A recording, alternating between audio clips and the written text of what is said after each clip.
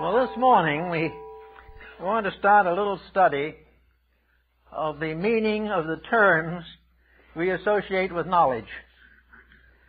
So I selected two terms that represent perhaps the polarized opposites of learning. They are knowledge and wisdom. Now, knowledge is something we all know about. It is conveyed to us through the public school system. We live it every day. Everyone who comes into the world practically is trained into some phase of it. Even Aboriginal people have their own standards of knowledge. And knowledge is very largely concerned with the problem of getting along in this world. How to live in the environment which no one really fits into exactly. Knowledge, therefore, is the knowledge of the folk. It is the thing we all uh, depend upon for a common agreement on the ordinary subjects of daily existence. This idea of knowledge, however, is very surface. Is uh, very surface. It is not depth. It is not wisdom. It is not insight.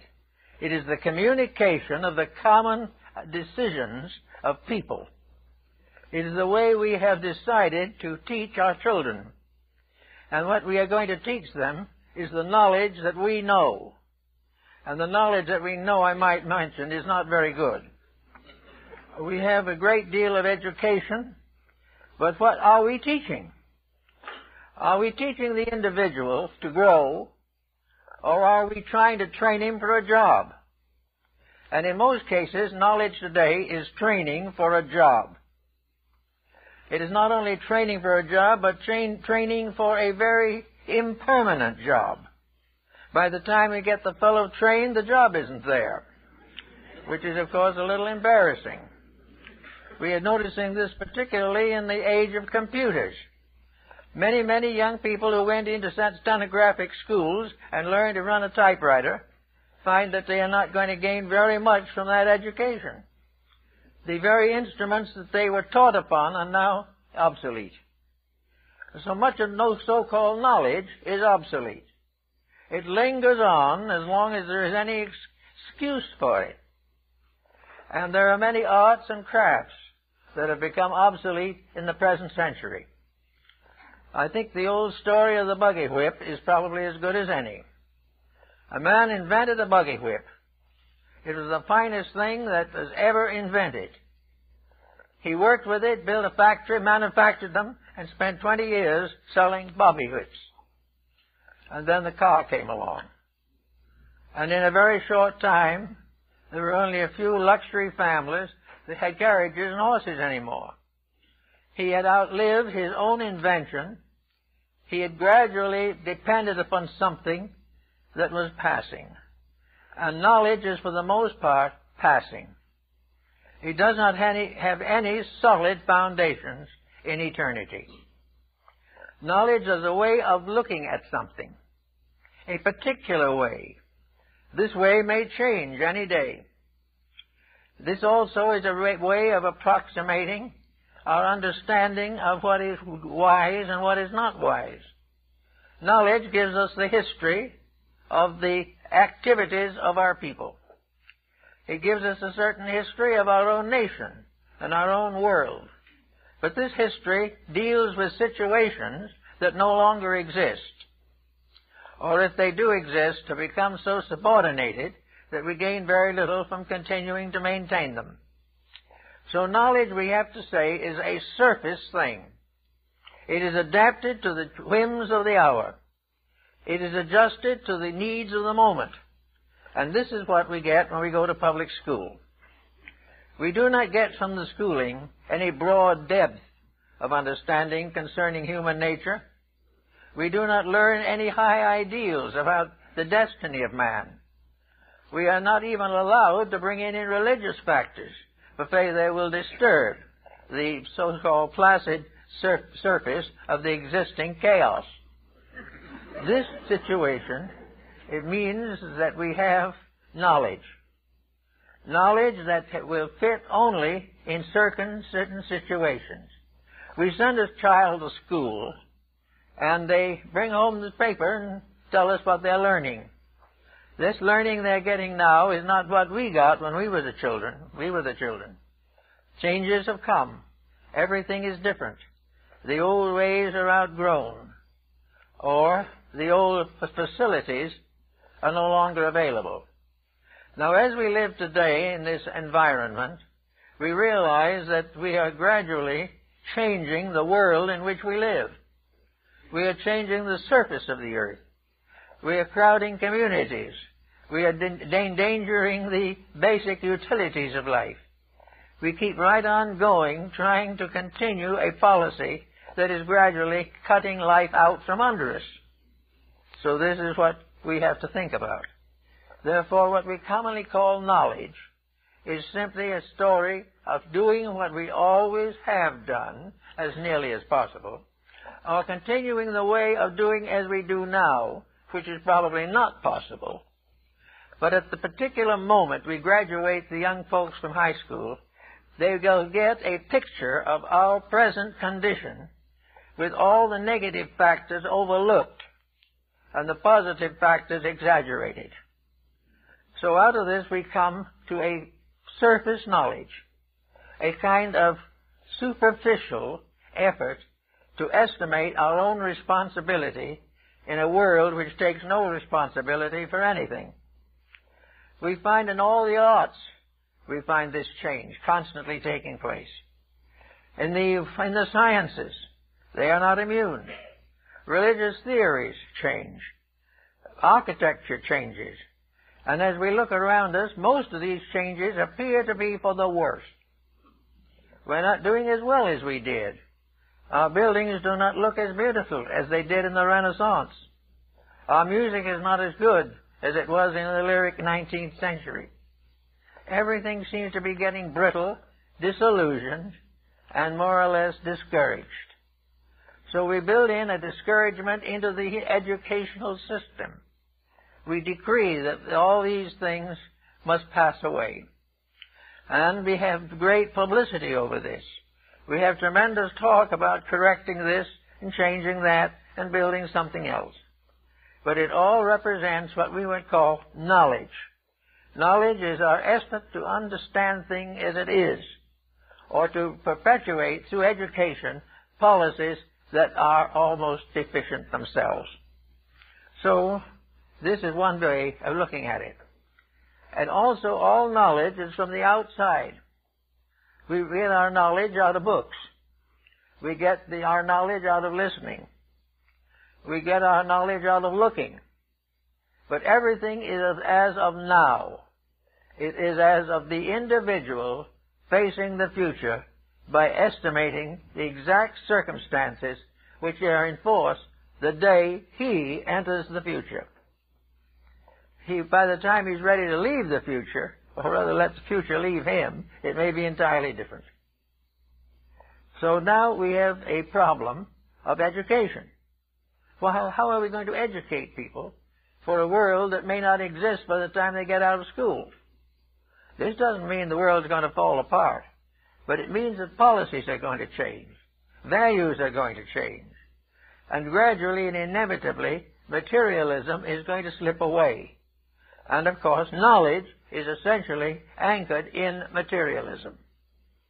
It is the way in which we try to understand the kind of a world we have created, which has little or nothing to do with the world as it really is. It is a world deprived of its beauties, of its values, of its friendships, of its affections, and of its community projects. It is a world of rugged individualism, moving largely on a basis of profit, and determined definitely to perpetuate the, the con- conditions as they are now, which they can't do. So we go around and we study.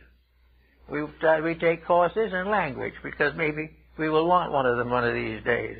A second language is a major asset today, which in itself is a proof that regardless how we think or what we believe, we are moving into a larger one world unity in which one language is not enough. We also have arts that are fighting for survival. We have that tremendously inconsistent situation in which we are paying two and a half million dollars for a Picasso sketch. And at the same time, we are paying four million dollars for a genuine Rubens. These things are absolutely irresponsible. The sketch and the Rubens are not even in the same classification. And yet we have put a new value on both, money. And the uh, same thing is happening all over the country and all over the world. The auction galleries are completely uh, swamped with people willing to spend fabulous sums for something they don't even understand. Now, why don't they understand it? Why don't we understand art in its best sense? Why don't we understand music in its best sense? It's Because it isn't taught. If you want any of these specialties, you have to go to a specialized institution which specializes in them. And you'll then be fortunate if you find one with sufficient idealism to make the period of study worthwhile. So we now have knowledge. We have knowledge in science. But every time we look at knowledge now, we are sort of told that this is the uh, ultimate. This is the absolute fulfillment of all these dreams. If we get this space platform out, it is going to change the course of ages. The most thing it's probably going to do is to run us further short in essential commodities. There is no reason to believe that if we put this spaceship out there long enough, it's going to solve anything. Because we're not out there. We're here. And we're using up the precious resources of here so that we can spend a few weeks out there, which isn't particularly valuable. We have all kinds of projects that are built upon what we think now. Our idea of the conquest of space is that we're going to be able to colonize it or find a possible use for it in the form of a garbage pail out there. We are believing definitely that space is something we're going to exploit as we've exploited everything else. And yet all the way along, we do not really solve anything. We do not understand anything. We are born ignorant and we die ignorant. And in between, we learn to make a living and a you learn to make a fortune. And when the whole thing is shaken down, where are we? The great values do not grow because we do not permit them to grow. We have no real reason to believe that we want to improve. We really only just want to stay the way we are and have more. We want to be a little wealthier, we'd like to be a little more famous, and we'd like a good solid contract with some studio for a million dollars a year. The idea of really growing, of improving ourselves. The question I talked to a young man not long ago, I said, why don't you try improving yourself? Well, he says, do you know anyone who's doing any better than I am? Why should I improve myself? Nobody else does.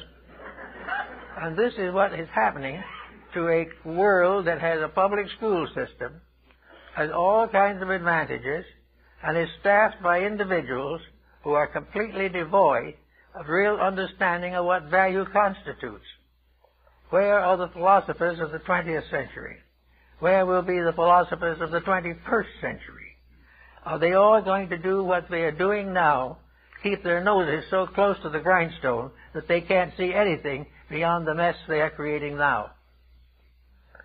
This all ends in the problem that knowledge is not the end. Knowledge is not a real end of anything. It is simply a becoming aware of the way things are being mishandled at the moment. It also has something to do with the idea that if we can make the same mistakes we may be able to be as rich as the people we don't like. But this is going to be a little difficult.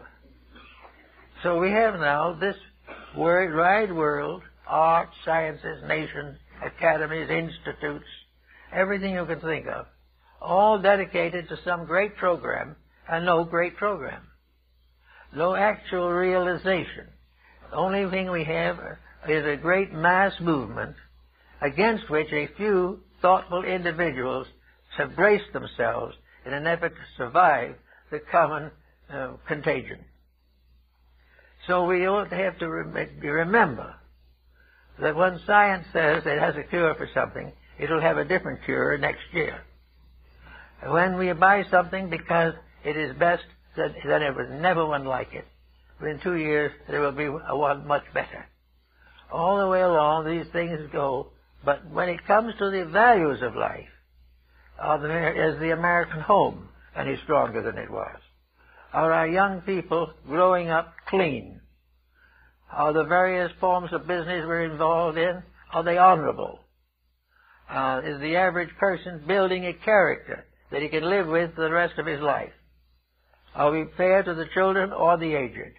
Or to the sick or the well? To the rich or the poor? Everything goes along carefully covering up the weaknesses of every phase of it.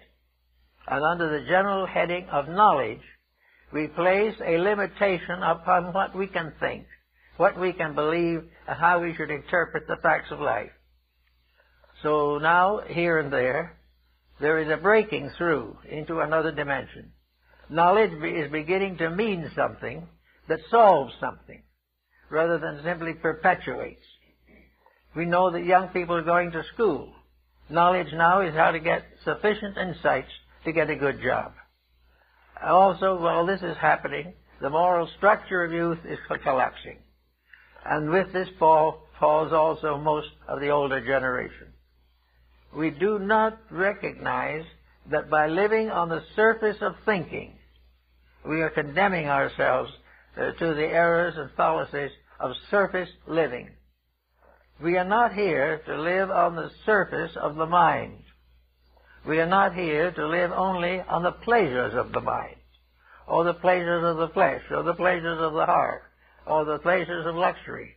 We are here as individuals to improve, to grow, to think, and to understand life. We are also here, if possible, to see that we can pass on to another generation a world a little better for our having been here, rather than a world falling apart because of our mistaken understanding. Now, on the opposite side of this is wisdom. Now, how shall we define wisdom? Wisdom is no longer a surface. Wisdom is now an interpretation of value. Every bit of so-called knowledge is capable of being examined by wisdom. There is nothing that we do, nothing that we have, nothing that we hope that does not in some way tie into the concept of wisdom. And wisdom can be such, uh, suggested as meaning. It is the something that amounts to something. It is something that makes an experience more important than 30 days in jail. It is something that makes it more important to stay sober than to try to get sober. Wisdom begins to use the ideas of that we find in knowledge and ensoul them, give character to them, give meaning to them, and bestow upon each one of them a dimension of growth all growth has to be included. Knowledge has to grow. And the moment knowledge grows now, it becomes associated with fallacies because of inexperience. We are not able now to use knowledge in the dimension of growth. Actually, knowledge comes to us from the outside. The interpretation of knowledge comes to us from the inside we are gradually learning that from the inside of ourselves, we have to explain the things that are happening in the outside world. Now, this isn't easy, because the things that are happening on the outside are inconsistent with most of the values that come from the internal life of the person. The thing that has made this matter endurable is the fact that the inside of wisdom of the individual has not been developed. Therefore, with the fallacies of the moment, there is no remarkable, intense rebellion from within him. Rebellion is a very individual matter. The individual who's had enough misery and enough suffering decides to do what he can about it. On the other hand, many under the same provocation do nothing. But one of the problems is that knowledge is valuable only to the degree that it can be and sold, that it can be enriched to become meaningful, to stand for something that will help to advance the general state of mankind. So we look around a little bit to see what we can do, if possible, to increase the development of wisdom. Well, what shall we say is the best place to look for wisdom? Well, for the most part, wisdom belongs to what we call idealism. I, idealism is motivation. When an ideal is stated, it means that the motivation is constructive. Uh, constructive motivation means that it is dedicated to common good, that it is dedicated to well-being, that it is not going to compromise to allow for the corruption of value. So when we begin to think of wisdom, we take the home that is broken by knowledge and put it together again by mercy. We try to do something to mend with the heart that which has been injured by the mind. We do everything that we can to ensoul the knowledge that has hurt us. And in so doing, we discover that this knowledge can suddenly become a tremendous source of good. But it is only good when it is ensouled. There is no good in the fact that it is a general average or adage that we, honesty is the best policy. It is only transformed into wisdom when the practice of, honesty proves this, and proves it by changing the patterns of life. Life goes on under knowledge. Life is changed under wisdom. Life grows because deeper and fuller meanings are bestowed upon it. It challenges the individual to grow. It does not leave him to be born and to die in the same misery. It does not leave him with a broken home or rebellious children. It does not leave him with incurable ailments caused by his own foolishness. All the way along, wisdom cures, heals, transforms into a better way of life. And yet it has to work with the same factors. The individual has to keep the job. But having kept the job, the wisdom steps in and tries to do something to this job, by means of which the person working in it is not only making a living, but is making a life. A life that is important. If the individual can go to work every week, every morning, nine o'clock for 40 years, and come out at the end of that time simply old and tired, and yet with the same job, and with the same uh, limitations, the individual who has a certain genius for growth within himself can transform this by conquering the job, by making something out of it that fulfills, and getting away from the monotony of worthlessness. That is another one of the problems of knowledge. Knowledge can become worthless because of boredom and exhaustion. We are tired of making the same mistake. We are tired of sitting at the same desk for a lifetime. We are tired of working with the same situations that arise frequently. We are tired of the wars that call upon us. We are tired of the false peace that come with them. We are tired with everything that is falling apart and is failing to grow. Now we have only limited facilities, but there is always something that can be done about this. And I've noticed in working with people who have become despondent over conditions of life, that nearly all of them are despondent because they have been unable in their own minds to accomplish a transmutation of something monotonous, objectionable, or debilitating. Yet there is an alchemy that comes with wisdom. Alchemy is the power to transform base metals into gold.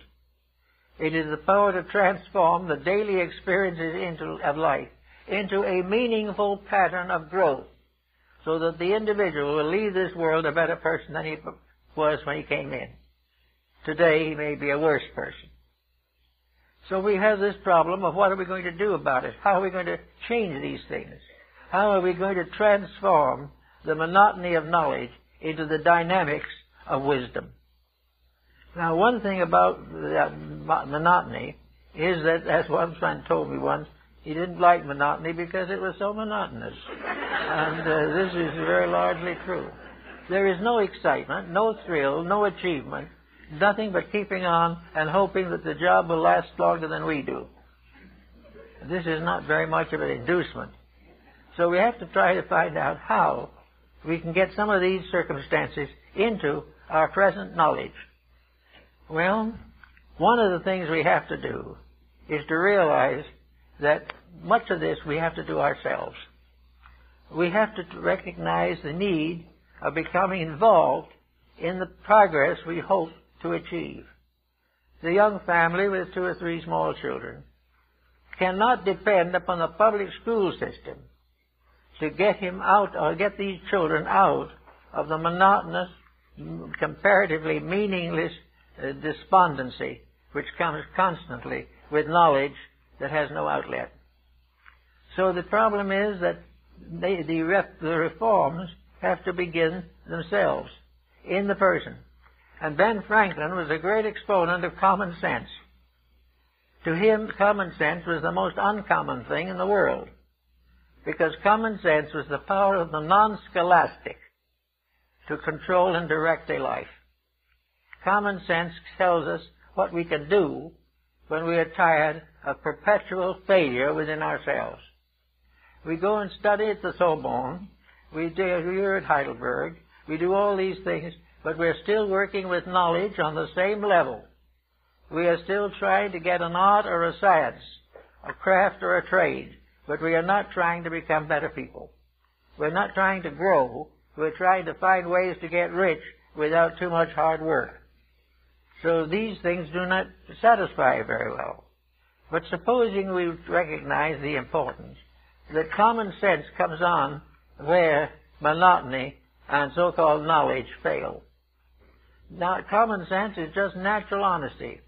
It is an intuitive grasp of realities and is probably the most powerful educating force that there is. And yet we don't dare to trust to it because common sense may teach us to get to go in the opposite direction from that in which we look for profit and fame. So we have to start with something. And those who are out of school and about settled down in life have a great opportunity to begin to experiment with the ensouling of facts. When a fact ensouled becomes a truth, and we are in need of more truths. We are needing uh, very definitely people whose vision extends far enough into the future to really understand what we're up against, but to really know the condition we're building for ourselves. There's a lot of talk now about the 21st century, and there's a lot of evidence wandering around that we're already trying to ruin it. Not because we mean to, but because we're taking knowledge instead of wisdom to work with. We are not trying to learn how to change that which has obviously failed. We are trying to figure some way to perpetuate that which was never real. So we have to think a little bit about getting into line for more wisdom and uh, getting prepared to realize that everything in nature consists of a body and a soul. Now, we can't hardly think of the soul as being associated with logic. We hardly have difficulty in imagining that things that are the common peri- uh, usage of mankind have souls. And yet, arithmetic has a soul. Music has a soul. Art has a soul. Digging ditches has a soul. Every profession has a soul, and a more exalted one, and most of the members of the profession do not live up to it. Over 2,000 years ago, the oath of Hippocrates was given to medicine, and we have spent the last century trying to get rid of it. We do not want it because it demands idealism, it demands integrity, and makes the physician, first of all, the servant of all the gods. This is in the spirit of wisdom, but we're trying to get it back down again into the spirit of knowledge. We know the code. We can recite it, but we can't use it. And that's because we are not building into ourselves the common sense, the natural virtues and integrities which are bestowed by nature and mutilated by human nature. So we're now looking for some way to get into a better condition to face into the future. And I think one of the common things that we can do is simply to postulate that anything that we are doing has levels and strata for us to consider. When we consider going into business, this is also a moral decision, not merely an economic one. We do not expect to have all things run smoothly, but we do expect that everything will teach us something of value.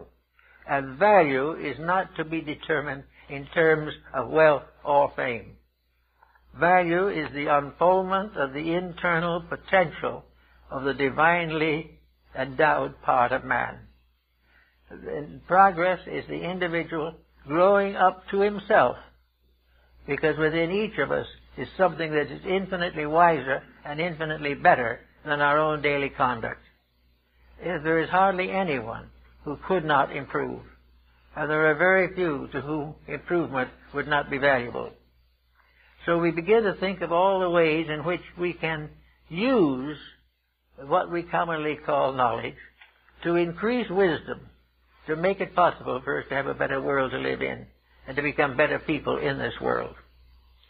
So now let's see what happens when we start in with wisdom. Now where does wisdom come from? The uh, wisdom was developed by the ancients for one purpose alone, and that was to learn to understand the meaning of existence. Now there are various ways in which you can get some idea of this meaning. We can start with knowledge.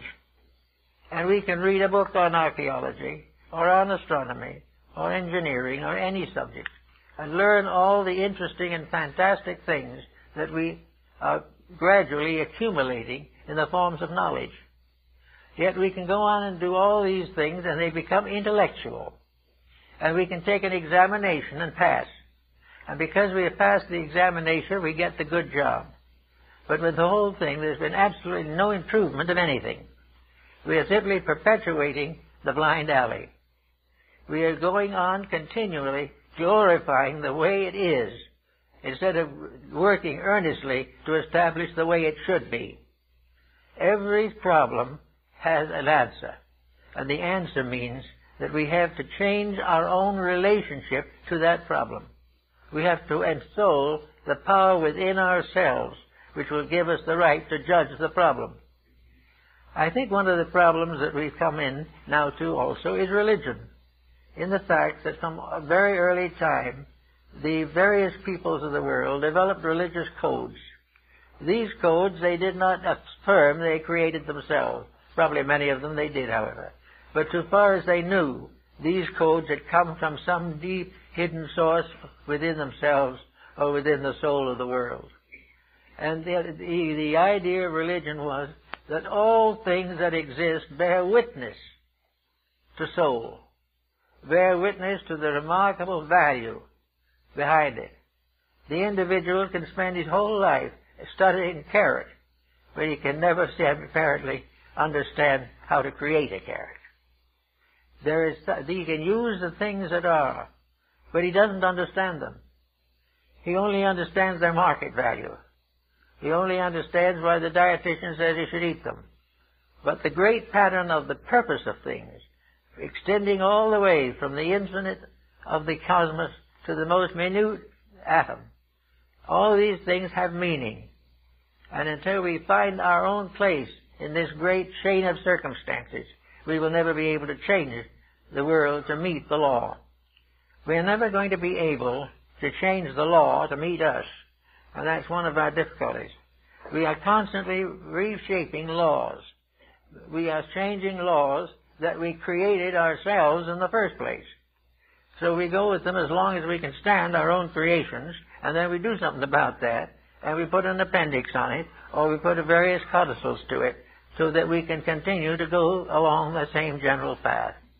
But the actual answer to the problem is the average person, even the average education, educated person, has very little understand, understanding of where we came from, why we are here, or where we are going. These are the great realities without which an enduring culture can never be built. And we are not even looking for them. We are only looking for all the secrets of science, particularly those that can be commercialized. We are not aware of the grand pattern of a human soul, that there is in each one of us a divine life that has come into exile in this world. And the reason it's in exile is because we have been here before and set up the exile. We come back to the, the work that we have done ourselves. We come back to our own mistakes. We come back to the ignorance that we started with, or perhaps a little worse. And we are not even willing to recognize the fact that we are missing the real purpose of life, growth. Now what do we say when growth? Well, growth is not necessarily has anything to do with uh, wealth or fame.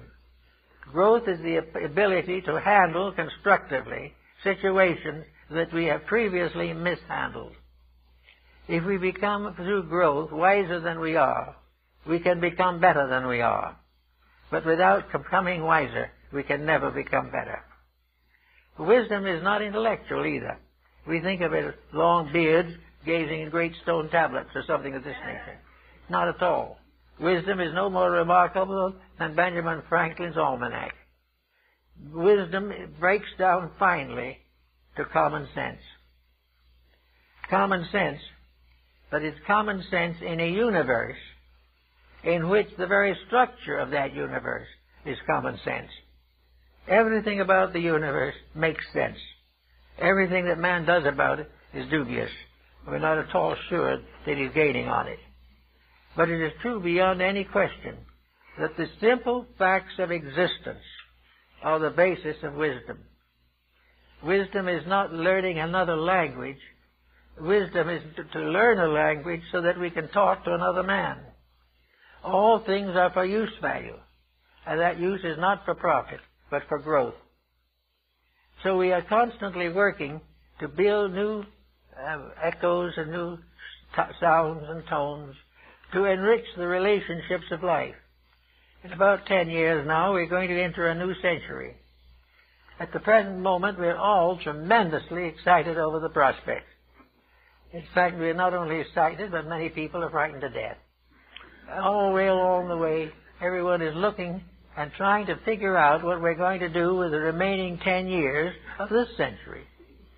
Now, probably Ben Franklin would say very fairly, forget the 21st century do it right now in the last years of the 20th century, and you'll have nothing to worry about. You have nothing to worry about when you start keeping the rules. And you don't have to set aside a period many years from now when you're going to start doing that. This idea that we have that the, that the universe is most made up of sections which come into manifestation. And in those various sections are the various skills, are the various ideals, or the integrities which are to be developed at that time. The truth of the matter is, these integrities must be developed in all times, in all conditions, and in every phase of existence. We want to go into the 21st century. We'd like to be able to hope that we'd be able to stand the drinking water as late as that, that we will also find some kind of a way to get the sewage out of our basements. We are also hoping to save a forest or two merely to show, be able to show people what a tree looked like. All of this type of thing is a little ridiculous, I know. But the point is very definitely that we have got to do something to change anything. And the power to change is the power of wisdom. Now the ancients tried to develop a way to getting wisdom. And they came to a conclusion that I think we're going to have to come to again. Namely, that wisdom cannot be forced upon mankind. Wisdom cannot be stuck down the human throat. It cannot be legislated into existence. And it cannot be perpetuated by people who don't want it. So the ancients decided to divide uh, a group apart. They took those who yearned after righteousness and who sought knowledge and who had that dedication to the common good that was necessary for the perpetuation of progress, and created the schools of wisdom, the Platonic schools, the Pythagorean schools, these uh, various mysteries of Egypt and Greece and all the other countries for the training of people who wanted to know the reality. They, they, they needed to know that there was something beyond the commonplace. But they tried to tell it to everyone. Those who didn't care diluted it, perverted it, destroyed it. Therefore, they created a rule uh, to control the dissemination of essential knowledge. They said that the, that knowledge has to be perpetuated by the right kind of person. That you can't just simply toss it on the surface of light and expect it to find a safe uh, place to hide or to live. We have to be able to recognize that the attainment of knowledge is the highest labor of mankind, and that the attainment of knowledge is the basis of all philanthropy, the basis of all unselfishness, the basis of all cooperation, and the strengthening of all the constructive emotions of the human being. Therefore, to do this, it must be discipline. And all ancient people set aside certain disciplines for those who wanted to know the truth more than anything else. Uh, these they called the mystery schools. They were the schools of Egypt and all these different systems, Phoenicia, Chaldea, they were the schools of the island of Como. They were even the schools that continued down into the Middle Ages. Finally became the labor unions. It was a case of where there had to be a group of dedicated people to keep alive the forces which protect mankind. And this dedicated group had to show by their action and by the consequences of their works that they were the defenders of mankind that they were the most important thing in all the world, those who sought to serve the truth. Now we have this coming into religion, and for Christendom, the Christ mystery is probably the most important of all these dedications. Christianity is actually a real problem of wisdom. Now it might sound as though wisdom is all intellectual, but it is not. The greatest of all wisdom is the love of truth, the love of reality, and the brotherhood of human life. But in this time, the, the development of certain laws of reality. And we're going to have to some way get back to some of this. We're going to have to have some place honorable, recognized, and supported, by which those who desire to live better have a chance to do so and where those who have the in- inside information in certain matters have a chance to express their internal convictions. Now, religion has for a long time provided certain phases of this. Even today in the 20th century, where science uh, very largely is materialistic, it lives and moves and has its being in the presence of religion.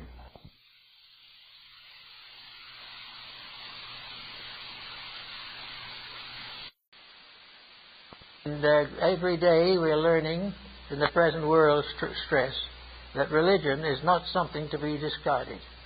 That if there is anything exact, it is religion, not science. Because the inevitable consequence of the misuse of power is moral punishment. And it also is that religion can prove conclusively that the only way in which the individual can protect himself and his world is by the development of integrities. He has to become a better person if he expects to make a better world. So we're now going to have somewhere along the line the science of redemption. We're going to have a gradual rising of peoples who believe that the greatest of all knowledge is the knowledge to live an enlightened life. That all other things are decorations or incidental even a, a trade or a profession or a career, is incidental to the basic fact that all professions and all careers exist primarily to help the individual to grow. No part of our civilization was originally founded on the profit system. It was founded on the prophet, spelt as a prophet or sage. Actually, therefore, we are working constantly to create a situation. And we're watching knowledge. We're watching the expansion of knowledge. We're beginning to recognize that a lot of knowledge isn't doing anything. We're also recognizing that the knowledge is leading in the wrong direction, that it is helping to perpetuate that which is doomed to fail. Therefore, we have philosophy coming in, and philosophy becomes the basis of a kind of wisdom. And out of it comes the final decision, which is the proof of wisdom the decision to do that which is according to the integrities of the divine plan. The individual who obeys the universal law is wise. Any wisdom that's so called that does not recognize this fact is not wise. And we have already had years and years of corrupted wisdom. We've had years and years of pseudo knowledge. And we are now very much in need of the real thing. We also are in recognizing that all the different changes that come in society are constantly convicting us of our own fallacies. Most of the problems that we have today didn't exist 25, 50 years ago. We were living in a different, much more eh, co- co- cohesive way. We are no longer in that way. We have broken down the walls and barriers which gave us some protection. There is no longer any respect for the laws of the personal relationships. There is no respect for parents or the aged. There is no respect for truth. And very little respect for teachers, because so many of the teachers are not teaching the facts. So all around, there's all these things need curing. And in this curing, we take the various forms of knowledge and we begin to try to ensoul them. We say, take the knowledge, for example, uh, of, a, of a mathematical career. Though there is a great deal to be said for that. The average mathematician studies primarily for the purpose of advancing some science or for adding a certain uh, uh, control to various mathematical problems. But actually, mathematics is part of the Platonic wisdom. Plato says God geometrizes. God also chemicalizes. God is the father of astronomy. God is the power behind every form of knowledge. And in its own essence, every form of knowledge is correct. Every form of knowledge is founded upon universal laws and universal realities. Because we're not much interested in those things, we sort of discard them or forget them or let somebody else worry about them while we do things that are a little different. We prefer to think in terms of mathematics in a, laboratory work. We want to do something like, uh, oh my goodness, look what wonderful things uh, Einstein did. Einstein just put, put, put mathematics together, and what did he do? He discovered something that may be the death of all of us. Gave us the bomb. Now, this is a little story of what we're all doing in the development of a great mechanistic civilization, a great materialism in a world where materialism can never win. But by balancing only these factors of physical existence, thinking only in terms of our own extensions, even though we live but a few years. Although all this goes along, we're not going to get anywhere. Uh, wisdom, true wisdom, could use mathematics for a thousand years without ever developing a bomb. Why did we develop it? Because we needed a big mistake to take care of a lot of little ones. We needed a big danger to create peace. So we did, we did that there. And what have we got? A continuing danger that will continue and place in the hands of anarchy means of controlling human destiny. But the powers of things are not going to permit this. There is bound to be the, the reckoning. Nature cannot be deceived. And, the, and the nature cannot be stopped. Its own realities must involve the correction of things which are contrary to nature's wish. So what do we do? We start out to build a new kind of civilization over garbage heaps, and they fall in, and we have a lot of trouble. We are trying to get rid of bugs, so we spray the food and die of the spray. Everything works in the same way because no one in these different departments is working for solution. They're working to how to maintain the thing as it is, how to prevent the bugs from eating it, but not necessarily doing anything to change the patterns upon which these, upon which these things are built. And uh, I remember very definitely when I was talking with Luther Burbank, uh, he pointed out, he said, if the plant is healthy, there'll be no bugs. It must first be sick. And when it is sick, it is weak. And when it is weak, the carnivores came in. And the insects come in. And the fungus comes in. But it doesn't come into a healthy animal or a healthy plant. The, the problems we have socially do not come into a healthy world. They do not come into a healthy nation or a healthy level of life. The reason why things go wrong is because we destroy the integrities which prevent them from going wrong. We do not realize what we are doing. We are all trying to have the plant and eat it too. And uh, we watch and we see what happens. We watch the plagues break out.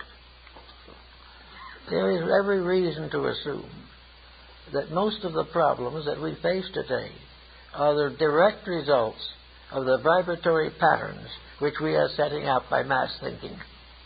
We are all working on certain problems, but millions of people are working on only one or two problems how to get rich, how to stay beautiful, or how to get well. All these things are correcting, uh, are corrupting our way of life. Our idea of getting healthy is to take care of the body, but not the soul. Another problem, I talked to a, a lady who was quite authority on the subject. Why do we? Why the girls want to be beautiful? And he, she pointed out that there are two ways of being beautiful. One is to have it on the outside, and in a few years it's gone. And the other is to have it on the inside, and it will last as long as you live and carry you into a better life beyond. Everything must get at the sources. We need a better level of thinking. We've got to take the facts and make truths out of them. We've got to take the knowledge that we have and redeem it, to save it from the corruptions of the uh, selfish and the unscrupulous. There is no way that we can have a better world unless we become better people. And that is the problem that I think we're all working with and very seriously at this time. The need, the need of the regeneration, the alchemy of transforming uh, selfishness into charity, transforming self centeredness into soul centeredness, and allowing the realities to lead the way rather than to drift, if possible, somewhere in the background. We have so many things to work with, so many opportunities and so many privileges, but we notice something is happening. If these privileges are slowly diminishing, these solutions that we have are slowly becoming insufficient.